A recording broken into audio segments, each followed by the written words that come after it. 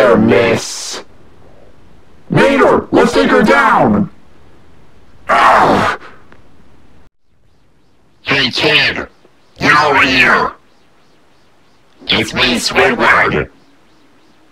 Listen, we need to find a way to take them down. Oh, okay. Well, anyways, good luck, kid. Call me if you need help. SpongeBob, I'm not letting you do this! Don't worry, kid. I will probably come back. We'll see.